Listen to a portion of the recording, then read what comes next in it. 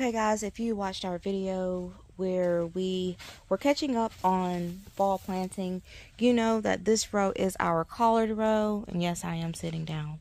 Um, we planted three varieties of collards on this row.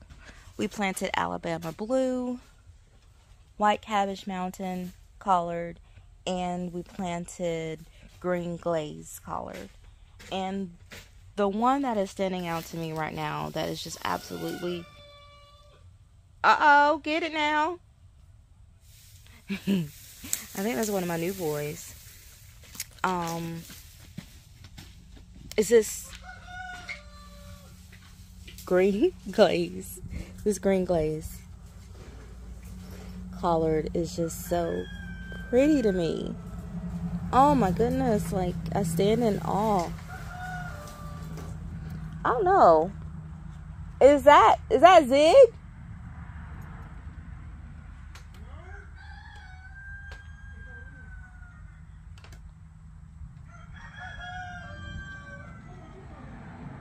Okay, that's Hope. I thought it was one of the new ones.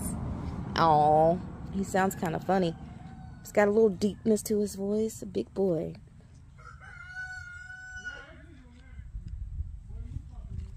Okay, so yeah. Sorry about that, getting distracted there. I love my boys. They are so handsome. And they do a good job in taking care of the flock.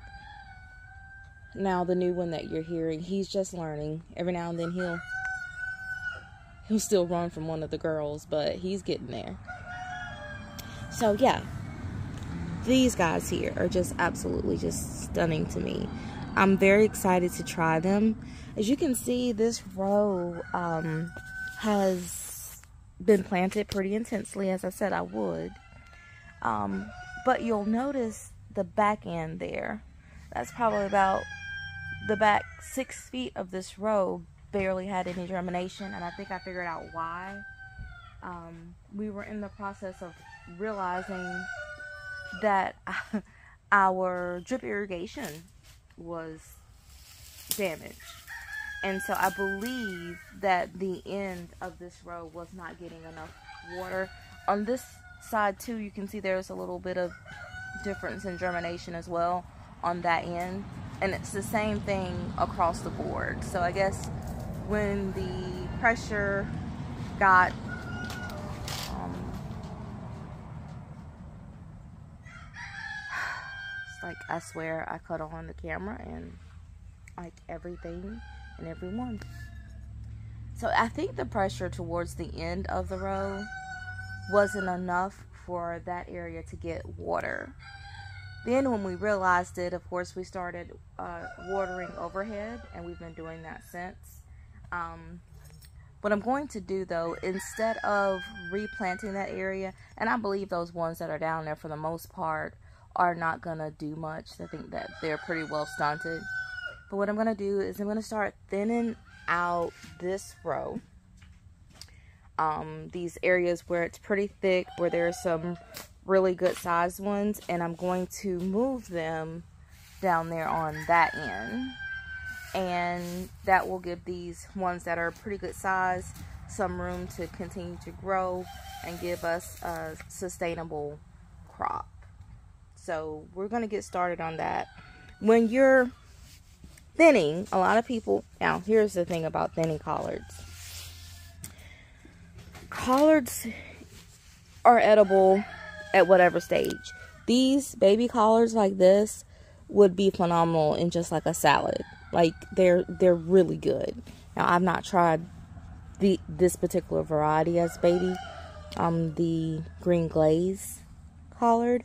However, I imagine that it would have a similar flavor um, as most collards would, even as uh, baby green.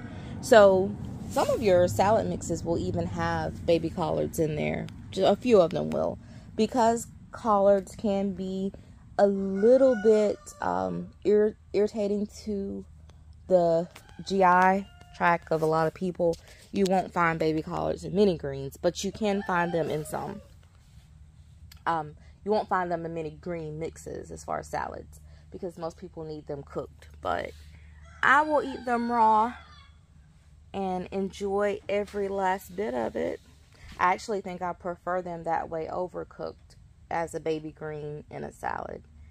Um, but that's just my preference. So, you know, the easiest way to do this, um, what I'm going to do is I don't want to, the bigger ones, I don't want to bother too much. They're pretty well established. I don't want to move them. All right. But if a big one like this one here, it's a good size one, but it's got a medium size one beside it, very close. You can see the root there. Let's see if I can zoom in a little bit. So we've got the big one here. That's the green glaze, and this one here is something else. Probably that's probably the white cabbage mountain collard. So that one is the one we're gonna move. All right. So the only thing that's required is just to be gentle. As long as your soil is fairly moist, they should pull up pretty easily.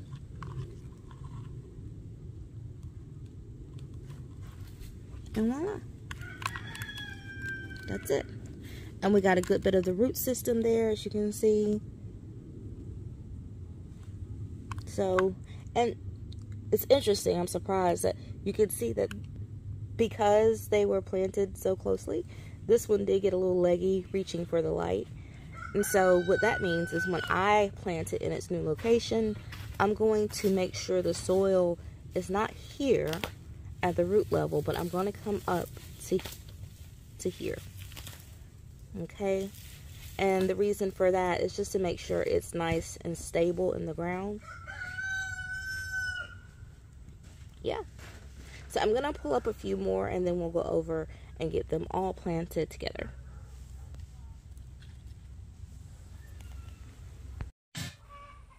Okay. I realized that my camera woman was tied up for the day, so I'm not going to be able to show you how I did that exactly, but I'll tell you I dug out a hole about an inch and a half deep, um, depending on the particular plant, and I laid the plant in root and that curve that I showed you earlier where it kind of got leggy looking for sun I put that down in the hole and I put the dirt um, right all the way up until the bottom leaves okay? So I'll show you what that looks like after it's done. You can see right here. That's one of the ones that I just set out. So all of that part that was um, leggy and curved a little bit from being too closely planted is now in the ground. And I'm being careful when I am pulling these to thin to not choose ones that seem way smaller than the rest of them. Those could be stunted and there's no point in setting those out. For instance, those there very likely are not going to do anything um, they're just not going to do anything. But these other ones that are small, that are still thriving, um, they have a good color on them. They're nice and green, nice and healthy, and um, they are comparable in size to the surrounding plants. That's a good indication that this is a plant that we can pull and relocate to a, another location in this row and it's going to continue to thrive and give us a good yield. So I'm going to keep working on this. Um, I have this section here all the way back to the end of that drip tape there uh, and all of that there that I can set some out. Looks like I, I think it was about six or eight that I just set out just now. Um, so I need to pull some more and that's not going to be a problem when you look at how densely planted everything is here. And I actually, this row here um, to the right of where these collards are is where our arugula was previously. And what I'm going to do is going to start bringing in some more soil to fill this row up. And then I'm also going to be putting over there some cabbages. So lots of work to get done in here. And all of these brassicas are going to be very appealing to all of the pests. And we're already fighting quite a few in the high tunnel So, in addition to that, if you watched our garlic video, I'm also going to be using some of those smaller garlic cloves to plant along with these brassicas to kind of give our our seedlings a fighting chance to get nice and established before the pests recognize that they are here. So far, so good. This area looks really well. This is um, opposite of the area where we're having a, a, really bad issue with the aphids. So what I do is I come in here and I do my work on this side of the high tunnel first, and then I go and do work on that side. So it's not to literally bring the aphids over on my shoes or on my clothes or hands, gloves. You know, we don't want to help them travel at all. So that is a technique that you it may seem crazy, but in nursing, we are always taught to um, start at the cleanest in environment and work your way down. You know, so if you're, you know, you're bathing someone, you want to, you wouldn't clean their bottom and then go to their face. That's just obvious. So as far as infestation goes, it's the same thing. You start at the area where there's a least of an infestation or no infestation and work your way to the worst. At home, please try to keep that in mind too, even though uh, we are set up more commercially. This is just basic reasoning and it works for everybody. If you have an infestation, work in that area last um, and sometimes, due to um, just different circumstances, I've had to come in and work in that area first. And when that happens, I literally go in the house and I change clothes and then I come back out and then work in the other area. Aphids are horrible, and once you get an infestation, like you never get rid of it, and it can go from bad to done overnight if if you're not careful. So it's worth going in the house and changing clothes. I mean, that's what we have a washing machine for. Okay, that's my rant. So when the frost happened, we did get some damage that I was not. I don't know. Maybe it's just been a while since I've grown spinach um, outside of the high tunnel. The high tunnel kind of spoils you a little bit. I didn't think that there would be any issues with uh, any damage. But not only did I get damage to the spinach, but I also got some damage on our cauliflower and the cabbages that we set out. They just, they're gone altogether, but they were pretty small. Let me show you the cauliflower. So you can see some damage on that leaf there and there as well and here. Uh, and the cilantro, however, is is doing fine, growing nicely. Um, this row here is an area where I need to actually, along this trellis here, I need to put more peas before we get too far along on the season. Uh, but the peas were fine. Excuse all the weeds. It's time to go weeding again uh, yeah. So let me show you where our cabbages just shriveled up and died. Think it was just way too much for them they were too small. So looking back, what I could have done was just cover um, the bed with frost protection blankets and that would have prevented the issue. So you can see back there in the back there. Oh, that one's trying to come back alive. It's been a couple of days since that hard frost and it warmed right up. I think the highest we got was like 72. This weather's been crazy. And all of these, the majority of these chards that were coming up, they also died the beets have there's a couple of the larger ones that did pretty good with coming through but the rest of them they also died so oh and these uh, Bene turnips are very resilient. They did good through the frost. There's a little bit of damage to those leaves there, but for the most part, they are fine. So what I'm gonna do is I'm gonna we're just gonna start fresh on this bed. Uh, I really wish that I would have thought to cover it up, but I didn't, and it just is what it is. It happens. Uh, it happens to me probably more than most because we're living a life that's very busy um, outside of our responsibilities as homesteaders, as uh, vloggers, bloggers. We are parents, we are friends, and it's just so much to manage sometimes. So I'm not going to beat myself up. You, if you've got some small failures on the farm, in your garden, don't beat yourself up. Start fresh. And that's what we're going to do. What I'm going to do is going to top off uh, this bed with these soils here. I'm going to put the potting mix um, first. And then I'm going to put the Kellogg garden soil on top. So both of these are Kellogg. Both of these are OMRI listed. And um, they they've both been working really good for us.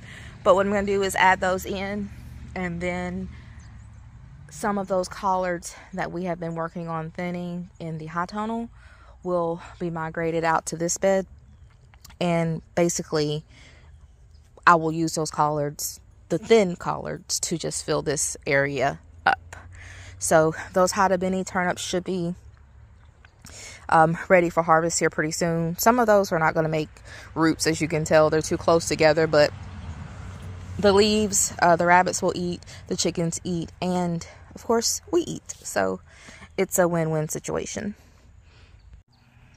And there's just a, uh, another area where we've got some cauliflower that got some frost damage.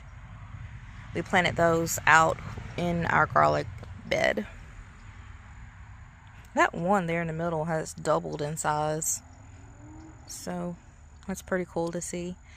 Don't know when the temperatures are going to drop below freezing again, but I may need to pull out the blankets and just have them on hand and ready to go. Okay, so as I'm looking along the row here, um, I think I'll probably pull some from this section here.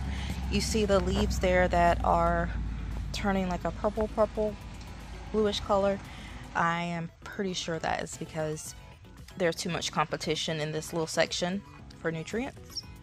So I'll probably pull those.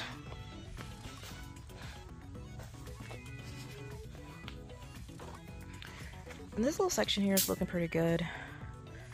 Some nice size leaves in through here.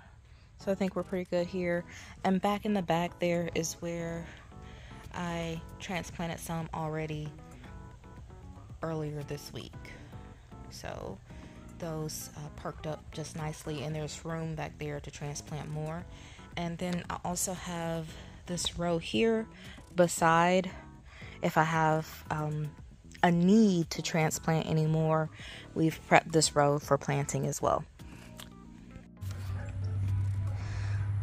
Okay, so it's a few days later because things got quite noisy and I wasn't able to finish the video. But there you have it, guys. I'm going to now fertilize with some fish emulsion and that's going to be it. We'll keep an eye.